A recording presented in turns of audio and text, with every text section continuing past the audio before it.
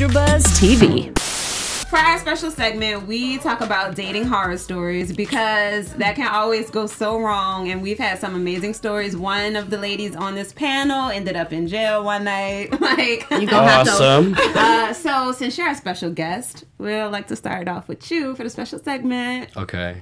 I, I guess I don't know necessarily if this is a dating horror story, but there was someone that I was dating and she was in an accident, so I went to like go visit her, mm-hmm. and like I was like, oh, this is gonna be so sad. I'm gonna be with her, like, cause she broke her ribs in a car, Yeah. and then like, but it was like I got there. And like I don't know if it's because she was on drugs or we hadn't seen each other. Because you know, like she was in pain, so Oh, she was yeah, on yeah, those But she was like super, super on me, and she's like, "Please don't leave. Oh my gosh, please kiss me." Like da da da da. Da. Like, and she was It was like, probably the drugs.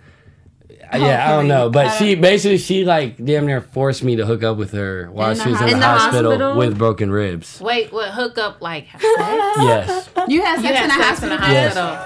Hospital. My friend did that before, so I can't even up. but that's not. It wasn't lit. Like I felt like scared. It was Were you weird. crying? Like, Were you it was don't lit. It sounds lit, but it, it it. wasn't lit. It was, Was like it- really weird. Because it was uncomfortable. Yeah, like she is someone gonna come in? Am I gonna go to jail? Am I gonna break her ribs worse? Oh like this is like you know what I mean. That is hilarious.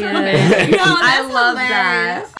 Hey AfterBuzzers! If you like this clip, be sure to check out the link in the description below to view the whole episode. Also, we'd appreciate it if you'd like this video and comment your thoughts. Remember, no matter what TV show you're a fan of, we have an after show for you. All you need to do is search AfterBuzz TV followed by the name of your favorite TV show. Buzz you later!